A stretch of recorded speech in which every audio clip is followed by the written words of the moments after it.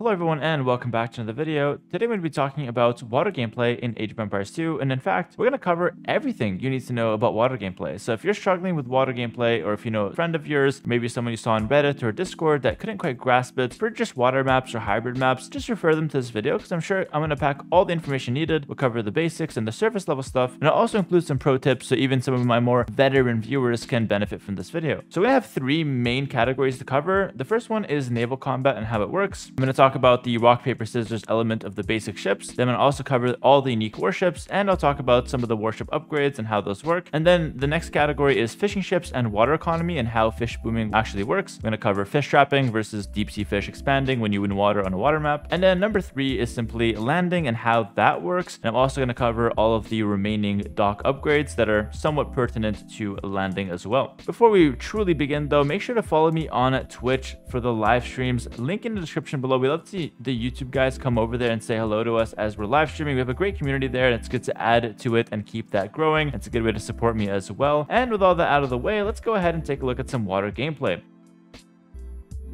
All right, so for the first category, it's all about the naval combat here. Naval combat is super important to understand because you cannot benefit from water without actually winning it and forcing your opponent off that water first. Because if you're both on water with naval ships, then no one truly controls it and no one can really benefit from its control. So a water battle is just bound to happen, be it on a map like Four Lakes where there's fishing ships and you know all those extra resources you can get from water and that players will fight over. And then islands where controlling the water enables landing. You can control the middle islands with extra resources etc. Water control is very important, and being able to beat your opponent off water to then benefit from it is a very key step. However, that being said, water gameplay or naval combat can be a little bit confusing because you have quite a few ships available to you, and they're all coming out of the dock, so it's one production building that opens up so many options. Let's take a look first at the basic ships to understand how those work. So there are three basic ships. You've got the fire ship line or fire galley to fast fire ship, then you got the galley that leads into the galleon, and then you have the demolition raft that leads into the heavy demolition ship. So the way this works is in a rock, paper, scissors format where one beats the other, the other beats the third, and the third beats the first. So in this case, we have the fire ship, which is supposed to be beating the galley, and then the galley, which is supposedly beating the demo, and then the demo, which is beating the fire. Now, I said supposedly because to be honest, this rock, paper, scissors format is just simply a overall basic outlook, but it's not that simple. It's actually a little bit more complex.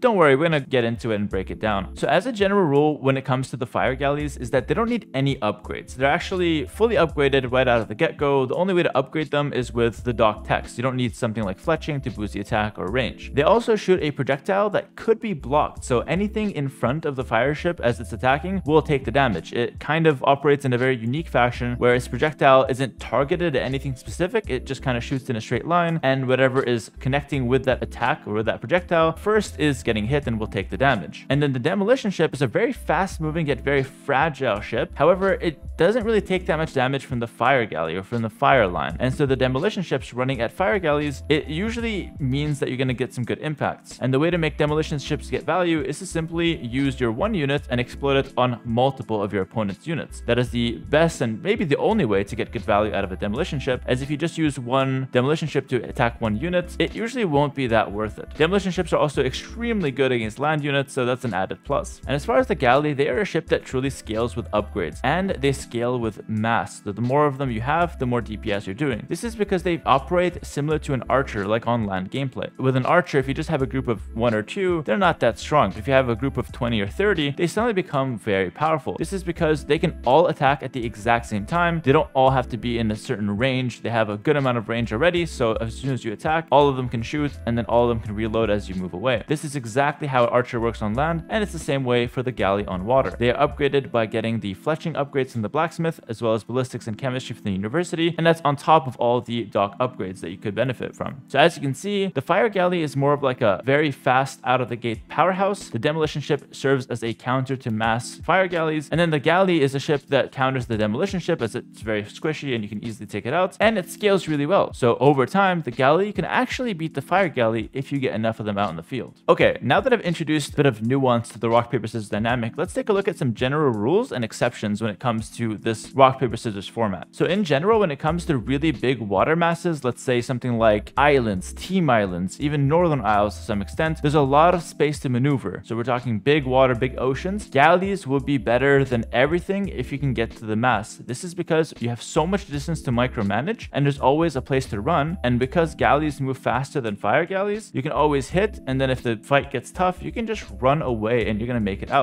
Also, if you're winning the fight, you can attack fire galleys and then chase them down. And so if you're winning fights with the galleys, you're basically unstoppable and you're controlling everything. However, this comes as a little bit of a cost. We already talked about how going for galleys and upgrading them is more expensive than the fire galley. And if the fire galley player gets to the next age and goes for fire ships or fast fire ships, they are much stronger than the galley line if you're an age up. This is an interesting concept because it gives the fire galley player a way out of dealing with mass galleys. So instead of him trying to win in feudal age against mass galleys, he simply tries to get up to castle age and then techs into the fire ship. This fire ship will be much tankier and much stronger than the fire galley and allow him to destroy the enemy galleys. Same concept for imperial age. If you're up against mass war galley, your fire ships will die pretty hard, but if you get the imp and you go for fast fire ships, you will destroy mass war galley with even fewer numbers than you'd expect. And then another rule when it comes to demolition ships is that they are insane against fire ships in castle age onwards. In feudal age, the demolition raft versus the fire galley, the demo raft wins and it's, you know, supposedly a good counter, but you kind of need to rely on good shots. Whereas in castle age, the demolition ship is so tanky. It literally doesn't die to fire ships whatsoever. It takes so long for them to kill it. So you can just run in, tank a little bit, body block the fire ship like I talked about earlier. You know, if you're standing in front of the enemy fire ship and it's attacking you, the demolition ship can actually tank the damage for quite a while and then explode. So it acts as both a tank and a demo ship and it moves faster than fire so you can literally chase him down and get the shots you're wanting. Obviously the demo will still die to mass war galley in Castle Age, but for all intents and purposes, for what it's meant to be doing in Castle Age, it's like super broken. And same concept to Imp. The heavy demolition ship is insanely broken for a similar concept. And even against mass galleon, sometimes the demolition ship can actually be worth it if you run tenon and if you get good connections, heavy demo is insane. So a bit of an exception to the rule there going into the Imperial Age. Before we talk about the unique warships though, I need to talk about a few upgrades that are important to consider when talking about water combat. All right, the first upgrade we have to talk about is the War Galley upgrade. Now the War Galley upgrade will upgrade all of your ships in the Feudal Age to their next age version. So Fire Galley will go to Fire Ship, Demolition Raft will go to Demolition Ship, and Galley will go to War Galley. This upgrade doesn't even show up when you're looking at the tech tree for some reason. I was actually looking at it when recording this and couldn't find it, which was really awkward. But it just appears in the second page of the dock, which is also awkward, by the way. And it's understandable why new players don't even understand how to upgrade their units or where to find this upgrade. So it's in the second page of the dock and it upgrades all three of the basic units. However, in Imperial Age, all three of the basic unit lines will have their own upgrade separately. So Fast Fire Ship, Heavy Demolition Ship, and Galleon techs will all be separate techs. This is a very unique concept in Age of Empires. You can't find this anywhere else where one upgrade affects three different units. And this is because in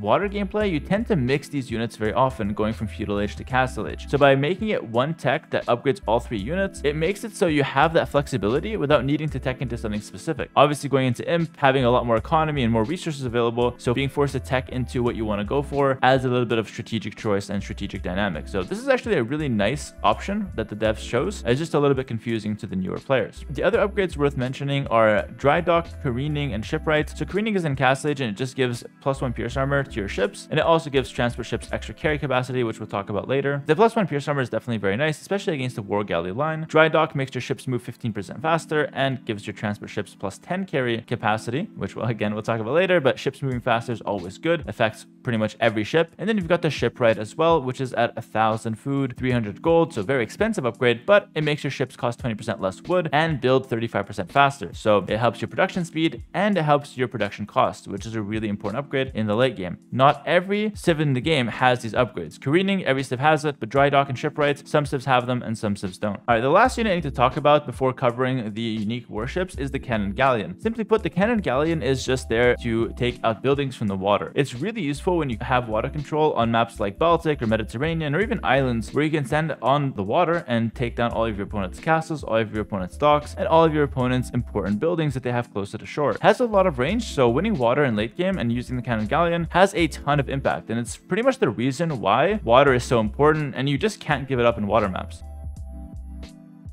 All right, moving on to the unique warships now. This is where it truly gets interesting. So there are actually a few uh, unique warships I'm going to cover. Starting things off with the longboat, which is probably the most iconic unique warship. Now the longboat is really easy to micro and it's similar to the galley where it's very smooth and not, not a big unit that's clunky and, and bumps on everything. The, the longboat is very, very smooth and it's available in Castle Age without requiring an upgrade. So the Vikings get access to it right away. And it's excellent against fire ships because it fires multiple arrows and fire ships have high pierce armor, which makes them usually pretty good against the galley line. Well, the longboat doesn't care about that pierce armor since it fires multiple arrows and that kind of overcomes the pierce armor that the fires have. The longboat is basically just a well-rounded, really, really strong unit, borderline overpowered, and its only downside is that it's slightly more expensive than a galley, but it's easy to use, it bunches up and groups up really nicely, so it's easy to micro, and hitting and running is super solid. It also moves faster than most ships, and it can be excellent at chasing down fire ships. Only downsides I can think of, besides its price, is that because it groups up, it could be weak to demolition ships and Dromons, which we'll talk about a bit later. Next unit is the Dravidian's unique unit, Thirisadai. This is available in Imperial Age without needing any upgrade, uh, and it's an interesting unit because in theory, it's really pop efficient. It's a very strong unit for its one population cost, and although it's really expensive as far as resources goes, it's basically double the resources of a galleon after shipwright. It does put out a lot of, you know, power for its punch. The only problem though is that it's extremely clunky and because it's so expensive, it's hard to get to like that 200 pop Thirisadai dream composition. So I would say it's a good option in late game, but if you're trying to win back the water or if you don't have that many resources available, it's a terrible option. It's also pretty bad against fire ships, so you only really want to make it against galleons and longboats. Uh, I will say it's the one ship that it really counters is the Caravel, which is the Portuguese unique unit. So if you're up, ever up against that, then Thirisadai makes makes the most sense. Now let's talk about the Caravel, which is the unique unit of the Portuguese. This is basically a scorpion on the water. Its projectiles will do pass-through damage, which makes it excellent against longboats that tend to group up, and it's also pretty decent against galleons. It is subpar against fire ships and demos though, but it still does okay against those units. Overall, the Caravel is a pretty strong late game option for the Portuguese. Next up, we have arguably the most overpowered unit, which is the Dromon. The Dromon is available to a few civilizations, and it replaces their cannon galleon. It's also really good against buildings like the cannon galleon, but but on top of that, it is extremely good against ships because it's basically a mangonel that can attack ground and it's on the water with extra range. Also, the Dromon doesn't need chemistry to get going, so it is quite literally a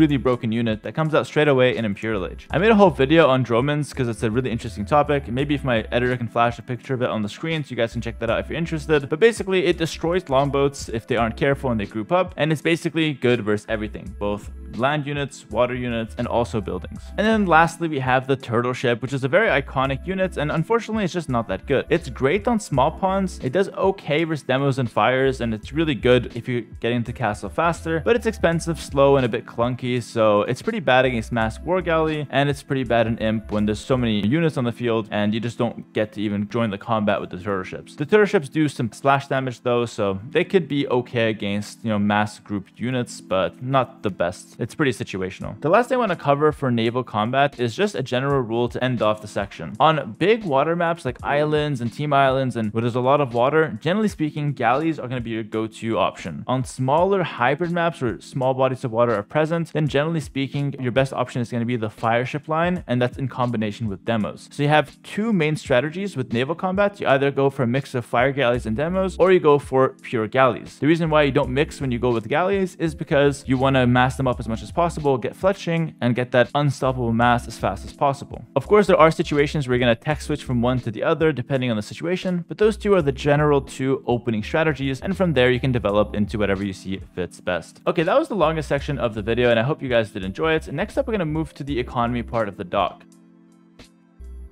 Now, when it comes to just a standard opening on a lot of hybrid maps or some water maps, making a dock with fishing ships from Dark Age is pretty much always worth it. Like, it's a blanket statement, I know, but I would say it's 90%, 95% of the time, it's worth it to make a dock in fishing ships, even if you lose the dock immediately upon hitting Feudal Age and you lose all your fish. The reason for this is because the dock basically acts as an extra town center in Feudal Age. You invest a little bit of wood to make a dock and fishing ships, and those fishing ships don't impact your town center production. If you do a build correctly, which I have tons of build orders in my strategy guide available for my Twitch subs and Patreon members. Link in description, shameless plug, I know. But I couldn't resist because if you know the proper build order for the early game water strategy, then you'll know that your TC will always be running, making villagers, villagers gathering resources, and then on top of that, you have the dock that's going to be making three or four fishing ships, which will pay back by the time feudal age comes in. Then once feudal age comes in, if you keep those fish alive, it's only profits, and if you lose them, well, we lost them, but we broke even. And that is the worst case scenario when going for a dock and fishing ships, if done correctly. However, the bonus to this situation is that if you actually win the water and you go for like some galleys or fire galleys and demos, and you manage to win the water, force your opponent off it, and kill their dock, then you can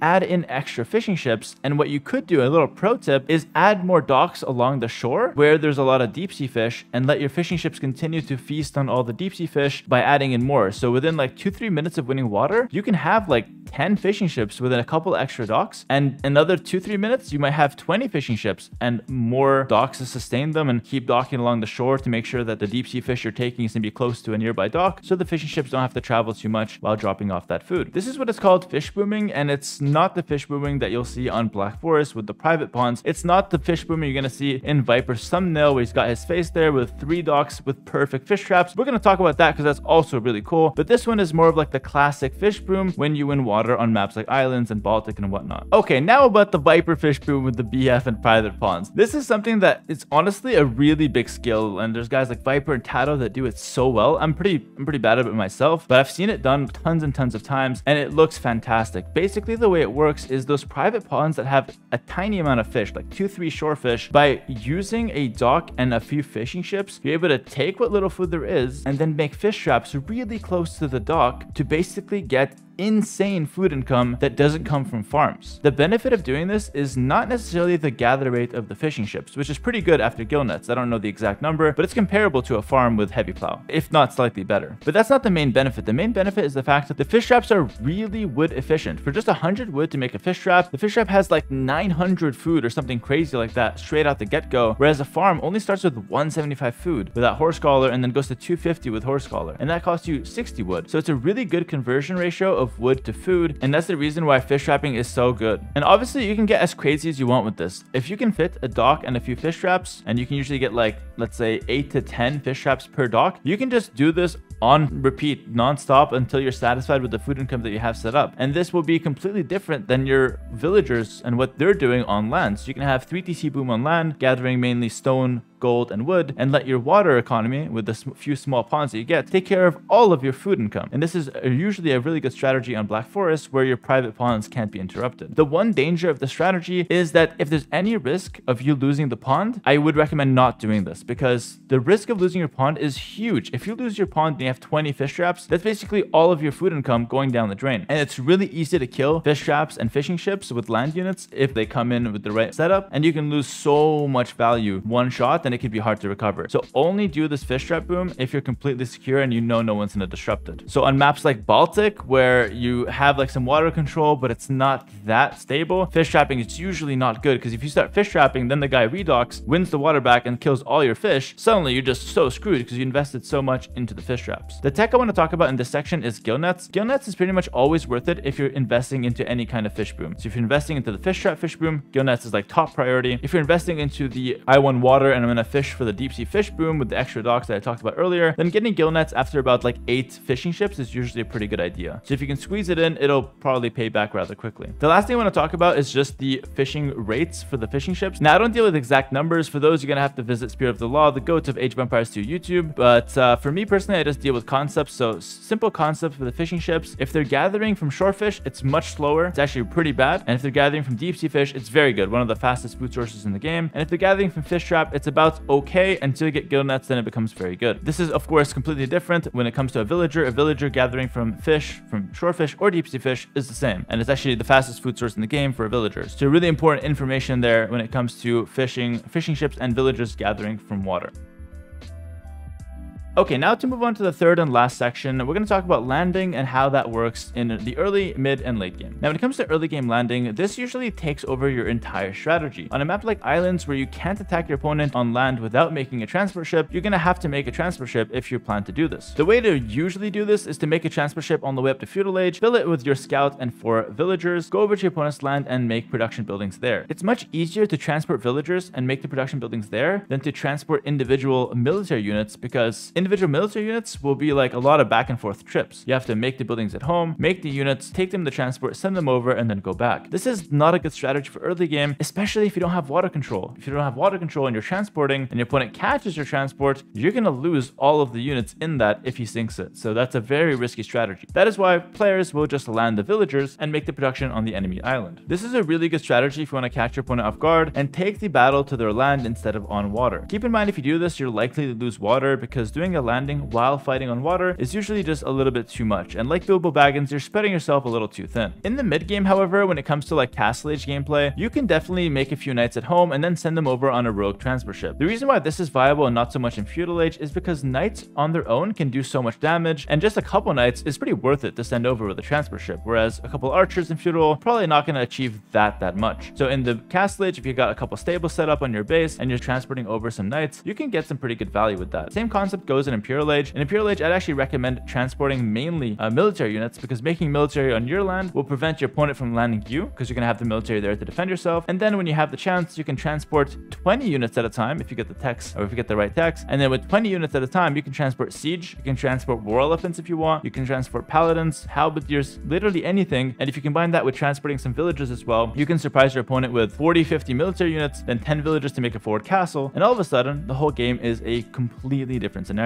So landing is a high risk, but it's also a really high reward approach. I would say proceed with caution, but definitely don't neglect the strategy. The techs needed for landings to be successful are dry dock and careening. Careening in castage gives you plus 5 carry capacity, and dry dock gives you plus 10 carry capacity, and also makes your transport ship move a little faster, just to sneak out there a little bit quicker every time and avoid some enemy fire. In general, I would say don't go for landings if you don't need to. So if you're connected by land, usually just taking that is going to be a little bit better because transporting with transport ships is a little bit clunky and can be a bit awkward and time consuming at times. So saving yourself the 10 clicks it takes you to put units in a transport ship, take them over. If you just have those 10 units and there's a passage by land, it takes two clicks. You take your units, send them over and forget about them. The transport ship takes a lot more babysitting and a lot more care. So while it's a really good approach if needed, it is a bit clunky and a little bit you know, awkward in a lot of cases, not to mention risky. All right, that's to do it. I'm pretty sure that's pretty much everything I know about water gameplay in Age of Empires. Let me know if I missed anything in the comments below. And if you have any more questions, I'd be more than happy to answer. Also, we have a wonderful community here. So maybe someone else that's more knowledgeable can definitely answer in the comments and help people out that need some questions answered. And like I said earlier at the start of the video, if you guys do know of someone who's struggling with water gameplay, please recommend in this video. I'm making this for the entire community to benefit. And I'm pretty much the only pro player out there that is making extensive guides like this, aside from DauT that makes one or two guides every half a year. So uh, definitely make sure to support me by spreading this video and so the knowledge can spread a bit more naturally. Thanks so much for watching. Like, comment, subscribe to support the video a bit more as well and help the algorithm. And I'll see you guys in the next video. Take care and peace.